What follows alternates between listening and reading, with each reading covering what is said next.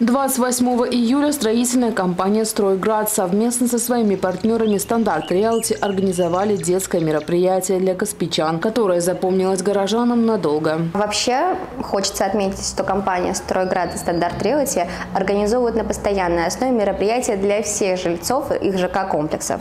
И поэтому этот день тоже не исключение. А, нет какого-то точного праздника. Мы просто создаем детям отличное настроение и делаем каждый день их ярче. Для детей была подготовлена яркая развлекательная программа с участием их любимых героев мультфильмов. Это Коржика, Карамельки, Соника, Микки, Мини Мауза и многих других персонажей. Кроме того, во время мероприятия деток обрадовали ярким аквагримом. Так, мы начинаем игру на счет три. Раз,